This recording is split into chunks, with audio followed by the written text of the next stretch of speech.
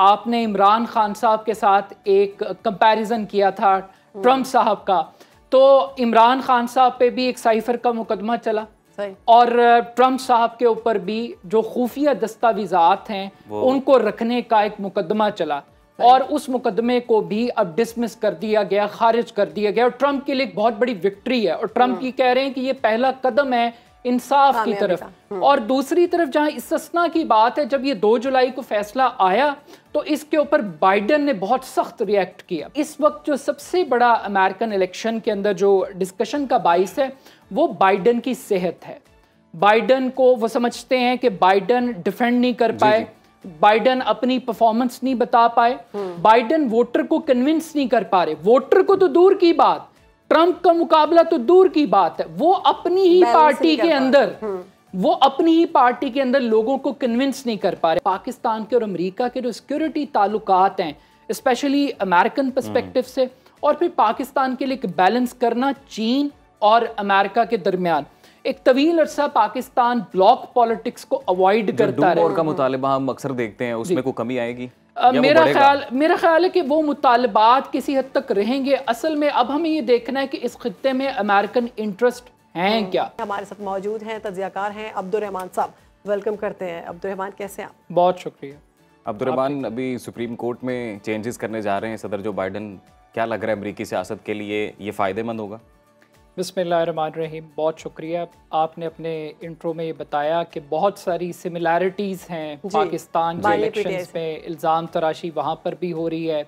तशद का एलिमेंट भी अब अमरीकी सियासत के अंदर आ गया है। हम्म। जो तब्दीलियों की बात हो रही है जिस तरह से पाकिस्तान के अंदर मौजूदा हुकूमत अदालती फ़ैसलों पर तनकीद कर रही है अदलिया को कंट्रोल करने की कोशिश कर रही है इसी तरीके से अब जो बाइडन भी जाते जाते बहुत सारे नए महाज क्रिएट कर रहे हैं। अब ये जो तब्दीली वो चाह रहे हैं अदालती निज़ाम में इसको समझना बहुत ज़रूरी है। हम्म। अमेरिका का अदालती निज़ाम है क्या? बुनियादी तौर पर एक सुप्रीम कोर्ट है और उस सुप्रीम कोर्ट में नौ जजेस अपॉइंट होते हैं। ये जो नौ जजेस हैं इनकी अपॉइंटमेंट का जो तरीक़ाकार है इनको सदर नामजद करते हैं और सेनेट हम्म। इनके नाम की तोसीक करती है।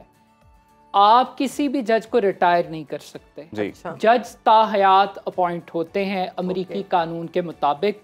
वो खुद से रिटायरमेंट ले सकते हैं या उनको इम्पीच किया जा सकता है। अब बाइडन चार मुख्तलिफ़ बातें कह रहे हैं।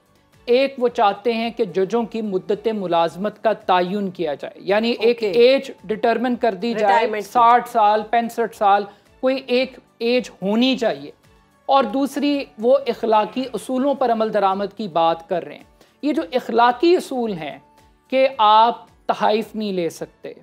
आप कॉन्फ्लिक्ट ऑफ़ इंटरेस्ट के जैसे हमारे यहाँ पे तोशा खाना तहाइफ है। जी वहाँ पर भी बहुत सारे जजेस के ऊपर ये तनकीद होती रहती है। इस किस्म के स्कैंडल्स आते रहते हैं कि वो मुख्तलिफ़ जो बड़े बिलिनर्स हैं उनसे कुछ तहाइफ भी लेते हैं। ट्रिप्स करते हैं छुट्टियाँ इंजॉय हम्म। करते हैं।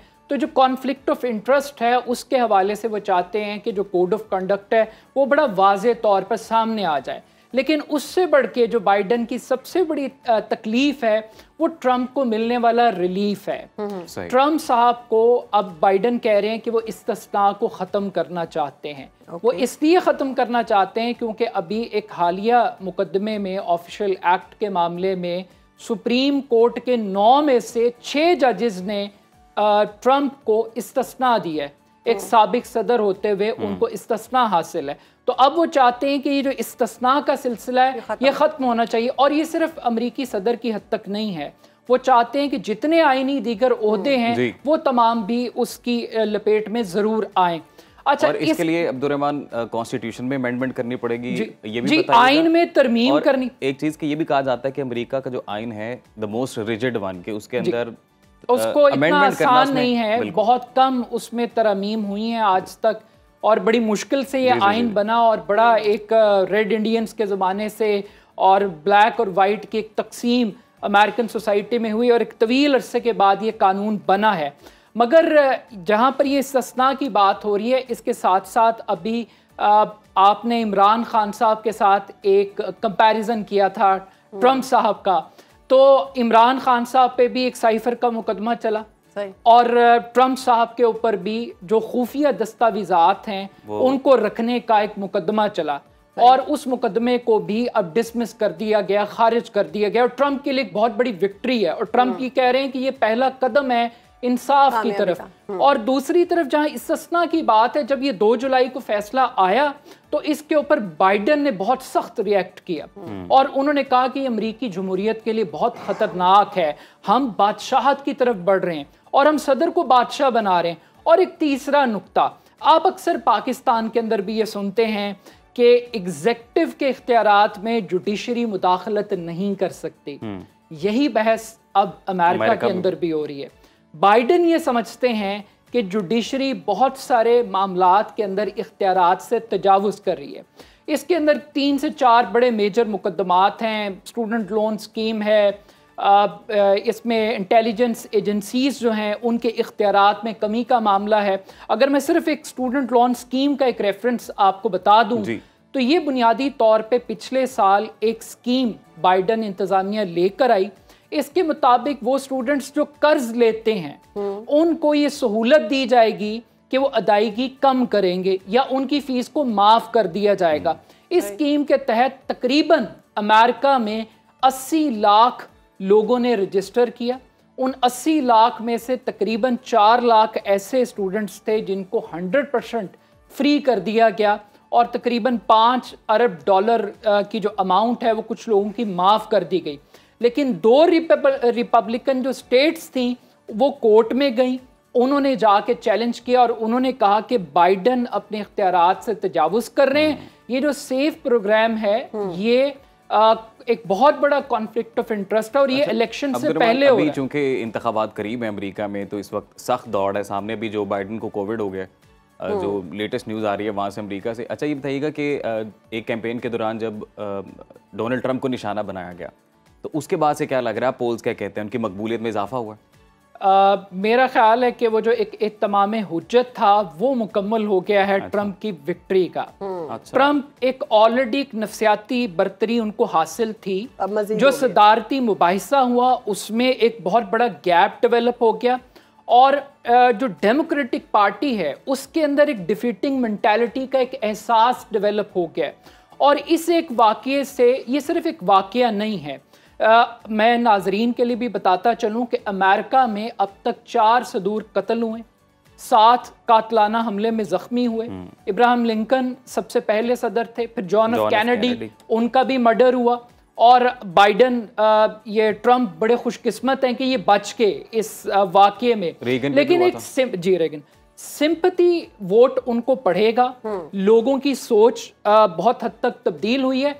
और इसके साथ साथ एक और भी चीज़ है जिस तरीके से वो खड़े हुए गोली लगने के बावजूद और उन्होंने मुक्के लहरा कर फाइट फाइट फाइट जी इमरान खान साहब से। हम्म। असल में चीज़ ये है कि एक उनका जो फाइट बैक करने की कैपेसिटी है और उनकी जो एक फ़ैन क्लब है। आपको रिपब्लिकन वोटर की टर्म सुनाई नहीं देगी आपको ट्रंप वोटर्स की इस्तलाह इस हमले के को पीछे ये खबरें आई कि ईरान इन्वॉल्व हम्म। है क्योंकि वो अपने कमांडर जो है उनका बदला लेना चाहता लेकिन उसका बदला ट्रंप से क्यों देखिए एक तो आप अमेरिका की और ईरान का एक बड़ा पुराना कॉन्फ्लिक्ट चला आ रहा है न्यूक्लियर प्रोग्राम के हवाले से और फिर वहाँ पे जिस तरह शख्सी आज़ादियाँ ईरान में जिस तरह का निज़ाम राइज है उसके ऊपर अमेरिका के बड़े शदीद तहफ़ात रहे हैं और अमेरिका ईरान के न्यूक्लियर प्रोग्राम के से बड़े कॉन्शियस है। जहाँ तक जा रहा है कि ईरान ने तरदीद कर दी है जी ईरान ने वाज तौर पर तरदीद की है लेकिन मैं तीन वाक़ात आपने ट्रंप की बात की कि ट्रंप के ऊपर हमला क्यों? हम्म। पहली बात तो ये है कि ये जिस शख्स ने हमला किया उसकी जहनी कैफियत और हम ये जानते हैं कि अमेरिका के अंदर एक गन टेररिज्म एग्जिस्ट करता है कि कोई भी एक पागल जुनूनी निकलता है और वो स्कूल्स के अंदर दस बंदे हाँ। मार दे पंद्रह मार दे और आज तक वहाँ पे कानून साजी से उसको नहीं रोका नहीं जा सका। तो ये एक उस माशरे के अंदर ये एलिमेंट पहले से मौजूद है। Legal in fact weapon carry ji legally है। वहाँ पे रख सकते हैं। लेकिन जहाँ तक ईरान की बात है जल कासिम सुलमानी को हलाक करने का जो क्रेडिट है वो ट्रंप इंतजामिया ने लिया बाकायदा तौर पे। और ईरान ने जब तरदीद की तो उन्होंने ये कहा कि जनरल कासिम सुलमानी का जो मामला है हम इसको लीगल फोरम्स के ज़रिए एड्रेस करेंगे। जी, जी, जी, हम ये कार्रवाई नहीं करेंगे। मेरा ख्याल है कि ईरान को सूट नहीं करता। ईरान में अब एक नई मॉडर्न लीडरशिप ईरान के अंदर आई है एतदाल पसंद। और वो मगरब से ताल्लुक चाहते हैं बल्कि अभी बैक डोर चैनल्स के अंदर रबता हुआ है ईरान के न्यूक्लियर प्रोग्राम पे। दोबारा डिस्कशन हो रही है। ट्रंप का एक हार्ड कोर स्टांस था जब न्यूक्लियर डील हुई। अमेरिका के दरमियान छह ताकतों के दरमियान और ईरान के दरमियान तो ट्रंप साहब उस माहदे से निकल आए। हम्म। उन वो फिर गए वहाँ से निकल आए और इंटरनेशनल कम्युनिटी अभी भी वो छह मुल्क वहीं खड़े हैं लेकिन इन्होंने अपनी पोजीशन चेंज की है। मगर इस वक्त जो सबसे बड़ा अमेरिकन इलेक्शन के अंदर जो डिस्कशन का बाइस है वो बाइडन की सेहत है। बाइडन को वो समझते हैं कि बाइडन डिफेंड नहीं कर पाए। बाइडन अपनी परफॉर्मेंस नहीं बता पाए। बाइडन वोटर को कन्विंस नहीं कर पा रहे। वोटर को तो दूर की बात। ट्रंप का मुकाबला तो दूर की बात है। वो अपनी ही पार्टी के अंदर हम्म। वो अपनी ही पार्टी के अंदर लोगों को कन्विंस नहीं कर पा रहे। अब आप देखिए। अब्दुलरमान के vice president Kamala Harris ji वो, वो अच्छा मुतबादल है जी मुतबादल हो सकता है लेकिन मुझे लगता है कि अब वक्त गुजर गया है। अगर इस स्टेज के ऊपर आप बाइडन को चेंज करेंगे तो आपने एक तरह से शिकस्त तो तस्लीम कर ली। आपने ये मान लिया कि आपके पास प्रेसिडेंशियल कैंडिडेट इस काबिल नहीं था। हम्म। आपने ये भी तस्लीम कर लिया कि आपकी पार्टी ने उस तरीके से परफॉर्म नहीं हम्म। किया जिस तरीके से परफॉर्म करना, करना चाहिए, चाहिए था। तो वो जो एक नफसियाती बरतरी का एलिमेंट है वो ट्रंप को मिल गया है। तो इस स्टेज के ऊपर मुझे लगता है कि वो जो डैमेज कंट्रोल है अगर आप कैंडिडेट को बदल भी लेते हैं तो शायद वो उस तरीके से काम नहीं करेगा। अब बाइडन क्या कह रहे हैं? बाइडन कह रहे हैं कि अगर डॉक्टर्स मुझे इजाज़त देते हैं या अगर डॉक्टर्स मुझे कहते हैं कि मेरी सेहत ठीक नहीं है तो मैं क्विट कर जाऊँगा। और वो ये भी बात कह रहे हैं कि अगर मैं जीत जाता हूँ तो मैं कुछ अरसे के बाद किसी और को ये पावर ट्रांसफ़र कर दूँगा। हम्म। तो बुनियादी तौर पे जिस तरीके से पाकिस्तान की पॉलिटिक्स का किंग इस वक्त इमरान खान है और इमरान खान के गिर्द पाकिस्तान की सियासत घूम रही है तो इसी तरीके से ट्रंप भी अमेरिकन पॉलिटिक्स के किंग है। ये कोविड वाली जो खबर है इससे क्या लगता है कि हाँ। ये भी कोई स्ट्रेटजी हो सकती है रिप्लेस करने की मैं वही कह रही हूँ अभी तक कोविड वहाँ पे चल रहा है। जी ये तो इसके ऊपर बड़ी मीम्स बन रही हैं। हम्म। इस पे बड़ा मज़ाक उड़ रहा है। वो कह रहे हैं कि ये शिकस्त का कोरोना है। अच्छा। ये ट्रंप का कोरोना इनको लग गया है। और ये जो कोरोना है ये बुनियादी तौर पर एक दस्तबरदारी का एक रास्ता है। और इसकी टाइमिंग बड़ी इंपॉर्टेंट है। हम्म। पार्टी का जो इजलास होना था जिसके अंदर नामजद किया जाना था बाइडन को उसको एक हफ़्ते के लिए आगे बढ़ा दिया गया। और एक और फैक्टर है। फंडिंग फंडिंग एक और यॉर्ड स्टिक है किसी भी पार्टी हम्म। के जीतने की और हारने की।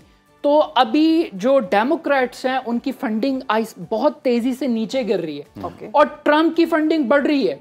अब जो एक्स के बानी हैं उन्होंने ट्रंप की हिमायत का ऐलान किया उनको फंडिंग देने का ऐलान किया उसके ऊपर जी जी। और उसके ऊपर भी बाइडन ये कह रहे हैं कि यहाँ पे इलेक्शन खरीदने की कोशिश की जा रही है। अच्छा, वहाँ पे भी ये बातें हो रही है। जी। अगर रिपब्लिकन आते हैं इकतदार में ट्रंप बनते हैं फॉर एग्जांपल प्रेसिडेंट मफरूजे के तौर पे बात करते हैं तब आप आलमी सियासत का क्या मंजरनामा देख रहे हैं? किस तरह से मशरक वस्ती में क्या तब्दीलियाँ होंगी? पाकिस्तान में क्या होंगी? क्योंकि यहाँ पे भी कहा जाता है कि बानी पीटीआई और ट्रंप इंतजामिया का कोई स्ट्रॉन्ग कनेक्शन है।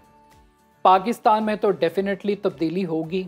और इमरान खान साहब के अच्छे सितारे भी मिलते हैं मिजाज भी मिलता है सिमिलैरिटीज़ अच्छा। भी मिलती हैं स्टाइल ऑफ़ पॉलिटिक्स भी मिलती है और दोनों के वोटर्स का ट्रेंड भी जो रेड लाइंस को क्रॉस करने का ट्रेंड है वो दोनों साइड्स पे पाया जाता है ट्रंप के अगर आप पिछले चार साल का अगर आप कंपैरिजन करें जब वो इकतदार में थे तो उन्होंने जंगों का खात्मा किया है। वो अफ़गानिस्तान से फौजों को निकाल के लेकर आए। अभी भी वो ये बात कह रहे हैं कि वो गजा जंग को ख़त्म करेंगे। वो यूक्राइन की जो वॉर है रशिया के साथ जो कॉन्फ्लिक्ट डेवलप हो रहा है वो उसको रोकेंगे। वो ये बात कर रहे हैं कि वो चाइना के साथ मामला को सेटल करेंगे। और वो नॉर्थ कोरिया के साथ भी आपको याद होगा कि माजी के अंदर उन्होंने बॉर्डर पे जाकर बाकायदा तौर पे मुलाकात की थी और वो सख्त तरीन नाकद थे। और आप ट्रंप ट्रंप जो है वो बड़े अनप्रडिक्टेबल किस्म के आदमी हैं। उन्होंने अपना जो वाइस प्रेसिडेंट चूज़ किया है वो ऐसे आदमी को किया जो उन पे सबसे ज़्यादा तनकीद करता रहा है। तो आप ट्रंप को फुल ऑफ़ सरप्राइजेस आप वो दौर कह सकते हैं कि पूरी दुनिया में तब्दीली आएगी। जहाँ तक पाकिस्तान का ताल्लुक है पाकिस्तान के और अमरीका के जो सिक्योरिटी ताल्लुकात हैं स्पेशली अमेरिकन परस्पेक्टिव से और फिर पाकिस्तान के लिए एक बैलेंस करना चीन और अमेरिका के दरमियान एक तवील अरसा पाकिस्तान ब्लॉक पॉलिटिक्स को अवॉइड करता है का मुतालबा हम अक्सर देखते हैं उसमें कोई कमी आएगी?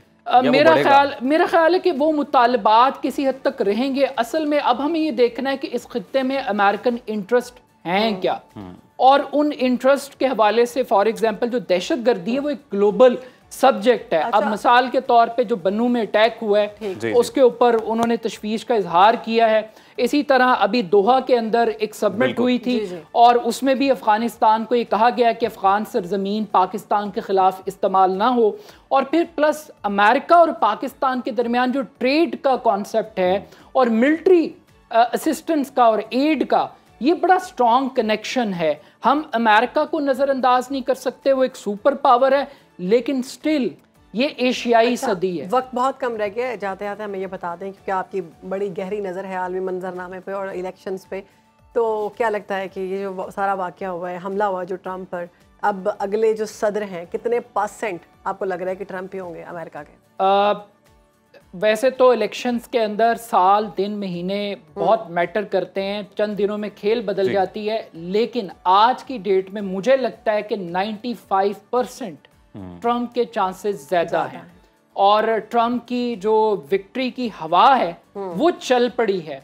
और वोटर तक मैसेज चला गया है और ट्रंप के अंदर जो एग्रेसिवनेस है फाइट करने की कैपेसिटी है वो अपने वोटर को ये बता रही है कि ये जो ग्रेट अमेरिका ग्रेट का स्लोगन था वो एक मरतबा फिर पॉपुलैरिटी की तरफ़ बढ़ रहा है। और इसमें बाइडन की परफॉर्मेंस और एक कमज़ोर कैंडिडेट का सामने आना ये मल्टीपल फैक्टर्स हैं जिसने ट्रंप को मजीद एडवांटेजेस आपके वाली बात के भी काफ़ी दिन बाकी हैं तो लेट्स सी कि क्या होता है जी अमरीकी जो सियासत है वो क्या रुख अख्तियार करती है अब्दुलरहमान बहुत शुक्रिया आपके वक्त का।